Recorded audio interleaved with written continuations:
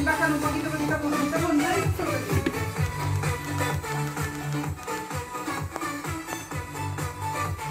Martín, Martín.